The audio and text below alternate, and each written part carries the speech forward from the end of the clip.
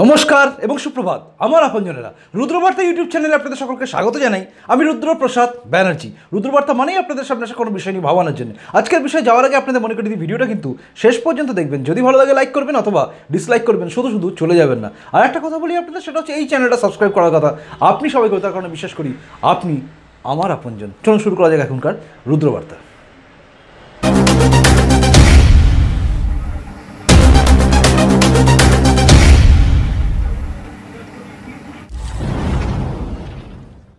শান্তি মিছিল।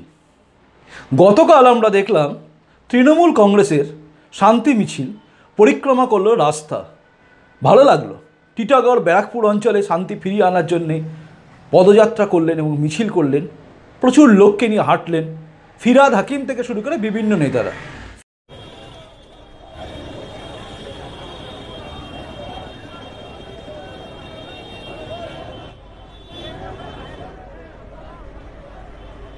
ফিরাদ হাকিমের নামটাই সামনে এলো, তার কারণ হচ্ছে ফিরাদ হাকিমি এমনই একজন ব্যক্তি যিনি সবসময় বক্তব্য দিয়ে থাকেন আর কি। কোনো কিছু হলে সবচেয়ে প্রথম বক্তব্য থাকে ওনারই যেমন, হেমতাবাদের বিধায়ক তাকে গলায় দড়ি দিয়ে যখন ঝুলতে দেখা গেল, পুলিশ কিছু বলার আগে সবচেয়ে প্রথম বক্তব্য রাখলেন ফিরাদ হাকিম। তিনি বললেন, ডিপ্রেশনে ভোগালো মানে বিজেপি যারা করে তারা ডিপ্রেশনে ভোগে আর কি। যাই হোক, তো তিনি সমস্ত কিছুই বলেন এবং তিনিই বলেন, ভারতবর্ষের বুকে পশ্চিমবঙ্গে থাকা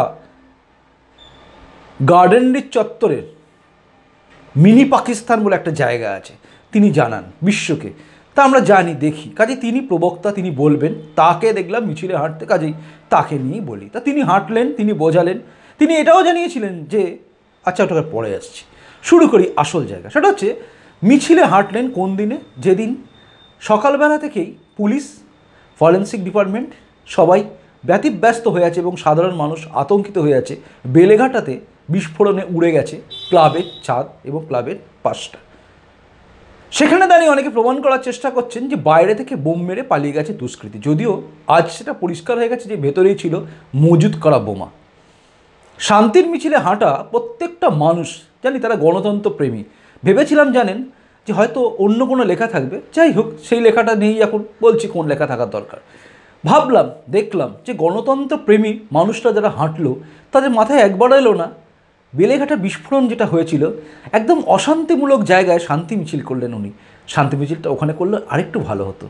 যাই হোক, তো বেলেঘাটা যে গণ্ডগোল নিশ্চয়ই বলতে পারেন, দুষ- দুষ্কৃতিকারীদের কোনো রং হয় না, ধর্ম হয় না, একদম ঠিক কথা। আমি ধর্ম বললাম না, রঙও বলছি না। কিন্তু শোনা যায় কান পাতলে বেলেঘাটা ওই ক্লাবটাতে যারা আছে মাথা, তারা সব তৃণমূলেরই ম্যাক্সিমাম লোক। কেউ কেউ ওখানে দাঁড়িয়ে রাজ করে, সিন্ডিকেট রাজ। হ্যাঁ সিপিএম থেকে চলে আসা নেতা এখন তৃণমূলের হয়ে দাপানো এবং মাঝে মধ্যেই এদিক ওদিক বেরিয়ে গিয়ে ভোট কন্ট্রোল করা নেতারা মানে নেতা মানে ওই আমচা চামচা বেলচা টাইপের আর কি। মানে যারা দেখে নেব, যাবি না, বেরোবি না টাইপের বলা লোকেরাই ওই ক্লাবে নাকি আছে কিছু কিছু কিছু কিছু। কতজন, কি না, সেটা তো পুলিশ বলবে। এবং ওখানে থাকা বিজেপি কর্মীরা নিশ্চয়ই বলবেন আজ নয়তো কাল বিজেপির কেউ না কেউ বক্তব্য রাখবে। যেরকম বক্তব্য রাখলেন গতকাল লকেট চ্যাটার্জি, এনআইএ তদন্ত চাই। সায়ন্তন বসু, তিনিও বলেছেন, ভালো লাগল তবে রিপার্কেশনটা আরও আগে আসা উচিত ছিল। রুদ্রবার্তা ঠিক দুপুর দুটোর সময় বলে দিতে পেরেছিল যে কথাটা। সেটা বলতে অনেক সময় লেগেছে। আগে স্পিচ দেওয়া উচিত প্রত্যেকটা নেতার, বিরোধী নেতা যারা আছেন। কারণ এটা তদন্ত হওয়ার দরকার আছে। যাই হোক, দেরিতে হলেও হয়েছে। এবার যে কথা সেটা হচ্ছে, বোমা বিস্ফোরণ হয়েছে যেখানে। অর্থাৎ ওই ক্লাবটার ভেতরে বোমা মজুদ ছিল। আজ সেটা জলবৎ তরলম, কারণ ওখান থেকে স্প্লিন্টার থেকে শুরু করে সব পাওয়া গেছে। স্প্লিন্টার মজুদ করে রাখা হয়েছে, বোমা মজুত করে রাখা হয়েছিল কিসের জন্য? আরেকটা শান্তি মিছিল হওয়ার জন্য। মানে শান্তি আমরা কখন দেখলাম? ওইখানে শান্তি মিছিল, অর্থাৎ যে শান্তি মিছিলে সমস্ত লোকেরা পা মেলালেন, সেই শান্তি মিছিলটা হলো মনীষ শুক্লা মারা যাওয়ার পরে পরিস্থিতি ঠান্ডা করার জন্য। দেখুন, মনীষ শুক্লা মারা গেছেন। মনীষ শুক্লা কিন্তু ডিপ্রেশনে ভোগেননি। না, এটা কেউ বলতে পারছেন না। মনীষ শুক্লার ক্ষেত্রে বলা যাচ্ছে না যে বিজেপি কর্মীরা অবসাদে ভুগছিলেন, না। কারণ মনীষ শুক্লাকে প্রকাশ্য রাস্তায় গুলি করে ঝাঁঝরা করে দেওয়া হয়েছে এবং ধরা পড়েছে মোহাম্মদ খুররম আর কৃষক গুলাব আলী শেখ ফেক এরা। তো যাই হোক আরও ধরা পড়ছে মানে বাইরে থেকে সুপার কিলার যাদেরকে নিয়ে আসা হয়েছিল। কিন্তু জড়িত মাথা হচ্ছে খুররম, গুলাব আলী শেখ। ব্যাস, এখান থেকে শুরু হচ্ছে শান্তি মিছিল। মানে যাতে পরিস্থিতি আর উত্তপ্ত না হয়ে যায়। দেখুন, এখানে আমি একটা কথা বলি, এ প্রসঙ্গে ফিরাজ হাকিমি আবার একটা বলেছিলেন যে, উত্তরপ্রদেশ, গুজরাটের মতো দাঙ্গার পরিস্থিতি, হয়, এইখানে এই কথাটা এসেছিল। আমার তা নিয়ে একটা ভিডিও আছে যেটা নিশ্চয়ই আপনারা দেখেছেন। যদি না দেখে থাকেন, দেখে নেবেন আরেকবার গিয়ে। তো সেইখানে দাঁড়িয়ে ফিরাদ হাকিম যখন এই কথাগুলো বলেন, তখনই মনে হয়েছিল যে কোথাও গণ্ডগোল আছে। মানে পরিস্থিতি যাতে ঠান্ডা হয় মানে মৃত্যুর পরে শান্তি মিছিল, অর্থাৎ কেউ মারা গেলে সেখানে শান্তি মিছিল হবে। এই বোমাগুলো যদি ফাটানো হতো ঠিক ঠিক জায়গায়, তাহলে অনেক শান্তি মিছিল পশ্চিমবঙ্গে রাস্তায় রাস্তায় আমরা দেখতে পারতাম। কিন্তু দেখতে পেলাম না। তার কারণ বোমাগুলো হঠাৎ করেই ফেটে গেছে। যাই হোক, দুর্ভাগ্য বলুন আর সৌভাগ্য বলুন দুর্ভাগ্য ওদের, যারা মারার চিন্তা করেছিল, সৌভাগ্য আমাদের, যারা বাঁচার কথা ভাবি, গণতন্ত্রের কথা ভাবি। তো সেখানে দাঁড়িয়ে বোমাগুলো বিস্ফোরিত হয়ে যায়। কেন? এক তো প্রচণ্ড গরম, মনে হয় মনে হয়। কারণ নয়তো ওখানে যদি বোমা তৈরি করতে গিয়ে মারা যেত, তাহলে অনেকগুলো বডি পাওয়া যেত। কারণ যে হারে বিস্ফোরণ হয়েছে, ওই বডিগুলোকে গায়েব করা খুব সোজা ছিল না।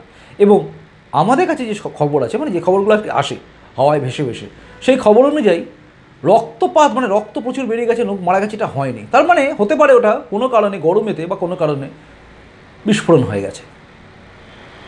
রাতের অন্ধকারে যদি ইঁদুরে উঠে একটা বোমাকে ফেলে দেয়, তাহলে বিস্ফোরণ হয়ে যেতে পারে। এবং বিস্ফোরণের যে তীব্রতা ছিল, সেটা অনেকেই বলেছেন যে ভয়ঙ্কর ছিল। যাই হোক, তো সেসব না হয় পরে দেখা যাবে। কিন্তু এই বোমাগুলো যদি বিস্ফোরিত হতো, যেমন শোনা যায় বেলেঘাটা ক্যানেল রোডে বোমা বিক্রি মানে বোমা সাপ্লাই ফাপ্লাই হয় আর কি মানে শোনা যায়। বিরোধীরা অভিযোগ করে। জানি না সত্য কতটা মিথ্যে কতটা কিন্তু খোঁজ নিয়ে তো পুলিশকে দেখতে হবে। জানি এ রাজ্যের পুলিশ দেখবেন কিনা তার ঠিক নেই। এনআইএ তদন্তে যার জন্য দরকার আছে যে এখান থেকে বোমা কোথায় কোথায় যেত? খোঁজ নেওয়া। এত বোমা স্টক করে কোথায় কোথায় বোমা যেত? পঞ্চাশ হাজার টাকা করে পেয়েছেন, দু লাখ টাকা জায়গায় চার লাখ কি পাঁচ লাখ? অত বড় ক্লাব অত সুন্দর ক্লাব করেছেন। নিশ্চয়ই দু লাখটা পাঁচ লাখ টাকা নয়, অনেক বেশি ক্লাব অনেক বেশি টাকা পয়সা আছে, অনেক বেশি বেশি পাচ্ছেন। যাই হোক, পঞ্চাশ হাজার, দু লাখ, এক লাখ যাহা যা পাচ্ছেন আর কি, সব পেয়ে পেয়ে যায় এত বড় ক্লাবটা করেছেন, সেই ক্লাবে বোমা শিল্প যে গড়ে উঠছিল না, তার তো কোনো গ্যারান্টি নেই। জানি, বলতে পারতেন যে এটা বাজি তৈরি করার কারখানা ছিল, বেআইনি বাজি তৈরি করার কারখানা। আমাদের চোদ্দ পুরুষের ভাগ্য বলে এটা এখনও শুনতে হয়নি। যাই হোক, তো শান্তি মিছিলে হাঁটলেন যারা, তাদের উদ্দেশ্যে আমার বলা। আমি ভেবেছিলাম শান্তি মিছিলে হাঁটা লোকেরা সবাই বলবেন, আমরা সবাই খুনি। কেন বলছি? কারণ বিরোধীরা এখানে মানে বিজেপি এখানে অভিযোগ করেছে, এই খুনের সঙ্গে তৃণমূল জড়িত, অর্থাৎ মনীষ শুক্লা খুনের সঙ্গে, যেখানে আর কি হাঁটলো এরা সবাই। তো সেখানে বিজেপি অভিযোগ করছে যে এই জড়িত। এবং আমরাও দেখলাম মোহাম্মদ খুররাম থেকে শুরু করে গুলাব আলী শেখ, যারা বাড়ির লোকেরা যারা বলছে যে আমরা কখনো বিজেপি করতে পারি না, আমরা সরকারি দলের সঙ্গেই আছি। যাই হোক, তারা সরকারি দলের সঙ্গেই আছে। তো সরকারি দলের সঙ্গে থাকা এই সব লোকগুলো তৃণমূলেরই তো। বিরোধীরা বলছে, বিজেপিরা বলছে, কংগ্রেস বলছে, সিপিএম বলছে, এরা তৃণমূল আশ্রিত গুন্ডা। তা তৃণমূল আশ্রিত এই সমস্ত লোকেরা যখন বোম মেরে খুন করে দেয় যখন বিরোধীরা অভিযোগ করে যে এরা খুনি, তৃণমূল খুন করেছে, তখন উচিত ছিল প্রত্যেকের বুকে ব্যাজ রেখে লাগা বেরোনো। আমরা সবাই খুনি, মনীষ শুক্লার খুনি আমি। এটা করা উচিত ছিল। কেন? কেন বললাম? দেখুন, খুব ভেবেচিন্তে বলছি। আমি জানি, তারের ওপর দিয়ে হাঁটা মানে তলোয়ালের ওপর দিয়ে হাঁটার মতো আমি হাঁটছি। আমাকে যখন তখন ধরে নিতে হবে, যখন তখন বলতে পারে। অনেকে বলেছেন, ক্যালকাটা পুলিশ আপনাকে ধরে নেবে, নোটিশ দেবে। ঠিক আছে। কিন্তু আমি যে কথাগুলো বলছি, যুক্তি দিয়ে বলছি। কি যুক্তি? মনে আছে নিশ্চয়ই, সারদা নারদা যখন ধরা পড়ছিল একের পরে তখন লেখা হয়েছিল, আমরা সবাই চোর। শিল্পী থেকে শুরু করে বহু বুদ্ধিজীবী মানে বুদ্ধি বেঁচে খাওয়া, দুর্বুদ্ধিজীবী, সম্পন্ন, পরজীবী, কীট পতঙ্গগুলো সব রাস্তায় নেমেছিল। আমরা সবাই চোর, বুকে ব্যাজ লিখে এবং সবাই মিলে ধর্ণা মঞ্চে বসে গেছিল। আমরা সবাই চোর। ভেবেছিলাম এখানেও মনীষ শুক্লা খুনের জন্য সবাই বলবে, আমরা সবাই মনীষ শুক্লার খুনি।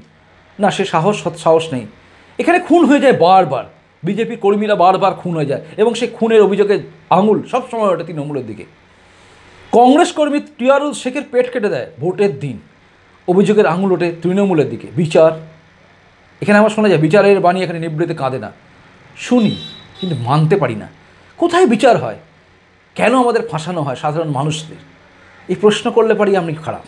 কিন্তু প্রশ্নটা তো আসবেই। কত কেসে কত মানুষকে ফাঁসানো হয়? দেখুন, উদাহরণ যদি চান, নিজেকে দিয়ে উদাহরণ দিতে পারি। আমাকেও ফাঁসানো হয়েছে। মহিলা গঠিত কারণে। মানে শ্লীলতাহানির কেস। কখনো বাড়ি ভাঙচুরের কেস। কখনো খুনের হুমকি দেওয়ার কেস। অথচ আমি ঘটনাস্থলে ছিলাম না। কিন্তু এগুলো হয়। কোথাও শোনা যায় অনুব্রত মণ্ডল বলে, গাঁজা কেসে ফাটিয়ে, ফাঁসিয়ে দে, গাঁজা কেসে দিয়ে দে। ওকে বলে গাঁজা কেস দিয়ে দে, শুনতে হয়। কিন্তু পুলিশকে বোম মারবো বললে কিছু হয় না। উড়ে এসে মানে ছুটে এসে মুখে লাথি ছিল। এটা ছুটে এসে মুখে, ছুটে এসে পাছায় লাথি, কোমরে লাথি, মারা পুলিশকে তারা সব বেঁচে যায়। বিজেপির ভাই ছিল। এখানে শুনতে হয়। বিচার এখানে হবে কি করে? বিচারের বাণী তো নিবৃতে কাঁদবেই, কারণ এখানে সাজানোই হয়তো ভুল। এই যে বোমা বিস্ফোরণ হয়ে গেল। শান্তি মিছিল আবার বেরোবে। প্রতিটা এলাকায় শান্তি মিছিল হয়, কিন্তু যেন শ্মশানের শান্তি। এই প্রহসন কেন? কতদিন চলবে এই প্রহসন? মানুষ কি এত বোকা? মানুষ কি ভুলে যায়? জানি না। আমার খুব জানতে ইচ্ছে করে, জানেন? যে এত বোকা মানুষ। শান্তি মিছিল করে হেঁটে দিলাম, আর মনীষ খুলের মনীষ শুক্লা যে খুন হয়েছিল, সেই খুনটা সব ভুলে যাব। কখনো না। বিজেপির বহু কর্মী খুন হয়ে যাচ্ছে। আজও খবর আছে, গতকাল মারা গেছেন একজন কি? মদনমোহন গোড়াই। মারা যাচ্ছেন তারা। এই যে মারা যাচ্ছেন, কাউকে পুলিশে লকাপে তুলে নিয়ে গেছে সেখানে গিয়ে মারা গেছে শোনা যাচ্ছে তার বাড়ির লোকেরা কোনো একজন ছেলে, একটা অপহরণ কাণ্ডে মানে অপহরণ কেউ নিয়ে চলে গেছে, কোনো মেয়েকে, এরকম একটা কীরকম ঘটনার মধ্যে জড়িয়ে আছে। তার জন্য তাদের না পেয়ে তার বাবাকে, বাড়ির লোককে নিয়ে চলে গেছে। নিয়ে তাকে নাকি এমন মারধর করে, সে মারা যেটা আজকে খবর কাগজে হেডলাইন হয়ে গেছে। এই যে ঘটনাগুলো ঘটছে, প্রতিবারই দেখা যাচ্ছে, মারা যাচ্ছে, মার খাচ্ছে আত্ম অত্যাচারিত হচ্ছে, সব বিজেপির কর্মীরা। যেহেতু বিজেপি এখন ক্ষমতায় আসছে তার জন্যে। এই রাজ্যেই শিখের, শিখ। বলবিন্দর সিংয়ের পাগড়ি খুলে দেওয়া, যে একজন এনএসজি কমান্ডো, প্রাক্তন কমান্ডো। দেখুন, যারা এই পুলিশগুলো লাঠি দিয়ে মারছিল না, কমান্ডো যদি নিজের পজিশনে চলে আসতো, এই পুলিশগুলো তার কাছে নস্যি ছিল। কিন্তু সেই বলবিন্দর সিং নিজের পাগড়ি গোছাতে ব্যস্ত ছিলেন, পাগড়ি ঠিক করতে, কারণ তার সম্মান, আত্মসম্মানে ঘা লেগেছিল পাগড়ি ফেলে দেওয়া তিনি পারতেন প্রতিশোধ নিতে, কিন্তু প্রতিশোধ তিনি নেননি। এই পশ্চিমবঙ্গের পুলিশকে দেখেছি ছুটে পালিয়ে যেতে, টেবিলের তলায় লুকোতে, মিথ্যে মামলায় লোককে ফাঁসাতে, আবার এই পুলিশকে দেখি নির্মমভাবে বিজেপির লোককে মারতে, একজন শিখের পাগড়ি খুলে দিতে। আর সেটাকে গার্ড করা হয়, ধস্তাধস্তিতে খুলে গেছে। অথচ ভিডিও দেখা যায় ধস্তাধস্তিতে খোলেনি যাই হোক মনজিদ্দার সিং শীর্ষ এখানে আছেন এবং তিনি দিল্লি দিল্লি কি গুরুদ্বারা প্রবন্ধক কমিটির তিনি মাথা, তিনি এসছেন এবং তিনি এখানে যথাযোগ্য ব্যবস্থা নিচ্ছেন এবং কলকাতা পুলিশ এবং পশ্চিমবঙ্গের পুলিশের বিরুদ্ধে তিনি ব্যবস্থা নিচ্ছেন। আর খুব শীঘ্রই ব্যবস্থা হবে এটা আমি আশা করি, কারণ কোর্টে এটা ফাইল হয়ে গেছে। কাজে আমরা দেখতে পাবো, পুলিশের বিরুদ্ধে ব্যবস্থা নেওয়া হবে। পুলিশও কিন্তু আইনের ঊর্ধ্বে নয়। পুলিশও আইনের ঊর্ধ্বে নয়। ঠিকভাবে যদি কাজ করা যায়। যাই হোক, আবার সরে আসি শান্তি মিছিলে। তা শান্তি মিছিলের নামে যে প্রহসন হলো, অর্থাৎ রাস্তায় হাঁটলেন ফিরাদ হাকিম, এবং সবাইকে হাঁটিয়ে বোঝালেন যে তারা ব্যারাকপুর অঞ্চলে শান্তি ফিরিয়ে আনতে চান। কি করে শান্তি ফিরবে? ব্যারাকপুর অঞ্চলে খুন হয়ে যাওয়া মানে ওই টিটাগড়ে মনীষ শুক্লা খুন হয়ে যাওয়ার পরে আপনার বিবৃতি থাকে। কী সব চলে ওখানে? ছুটমিল, কী সব চলে? কী সব চলে বলেছিলেন না আপনি? ভিডিও আমার আছে। আপনারই বক্তব্য, আপনারই কথা, আপনারই মুখের। কাজে এই সমস্ত কথা যদি শোনেন বা বোঝেন, তাহলে বোঝা যায় কি বলছেন তিনি। খুনের রাজনীতি করা তৃণমূল কংগ্রেস খুনের পরেই শান্তি মিছিল করে। বাংলার মানুষকে বোকা ভাবে। সময় এসে গেছে সে দেখানোর।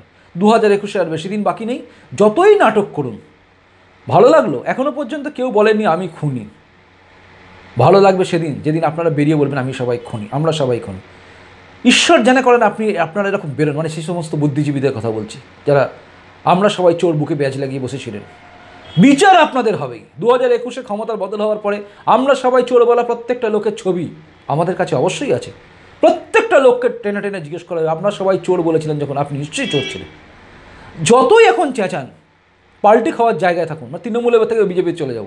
মানে বুদ্ধিজীবী তো, বুদ্ধি বেঁচে খাওয়া মানুষ তো, তা পটকে যাবেন, আপনি পটকে এদিকে চলে আসবেন আর কি। মানে ট্রান্সফার হওয়া ট্রান্সফারেবল জব আপনাদের। এই এদিকে আছে, ওদিকে আছে। এই বামে ছিলেন, বামের আদর্শ মানছি কমরেড জিন্দাবাদ জিন্দাবাদ, এখন মমতা দিদি জিন্দাবাদ, তারপরে বলে জয় শ্রীরাম। মানে এইসব করার জায়গা আপনাদের নেই। আপনাদের ছবি সমস্ত লোকের গাঁথা হয়ে গেছে। এই বিজেপি আসবেই, এবং তৃণমূলে আপনি থাকুন, বা নাই থাকুন বিজেপিতে আসতে আপনি পারবেন না। কারণ আপনাদের আসতে দেওয়া হবে বলে আমার মনে হয় না। কারণ এখন আরেকটা শ্রেণির বুদ্ধিজীবী উঠে এসছে। যে শ্রেণির বুদ্ধিজীবীরা সত্যি সত্যি বুদ্ধিজীবী, যারা সত্যি সত্যি বুদ্ধি নিয়ে কাজ করে। অর্থাৎ যাদের বুদ্ধি কাজে লাগে, মানুষের উপকারে লাগে। আপনাদের মতো নিজের স্বার্থের জন্য বুদ্ধি বেচা লোক নয়। যাই হোক, সেদিনের স্বপ্ন দেখা আমরা প্রত্যেকেই অপেক্ষা করে আছি দু হাজার একুশ আসার। পালা বদলের শুরু হয়ে গেছে। শান্তি মিছিল করে আর লোককে ভাঁওতা দেওয়া যাবে না।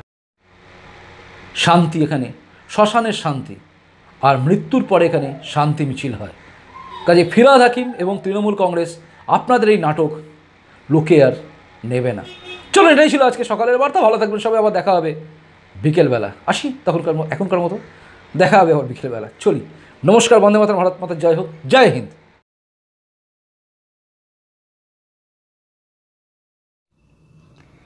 ভিডিওটা দেখার জন্য আপনাদের ধন্যবাদ জানাই। ভালো থাকুন সুস্থ থাকুন রোজ দেখুন রুদ্র বার্তা।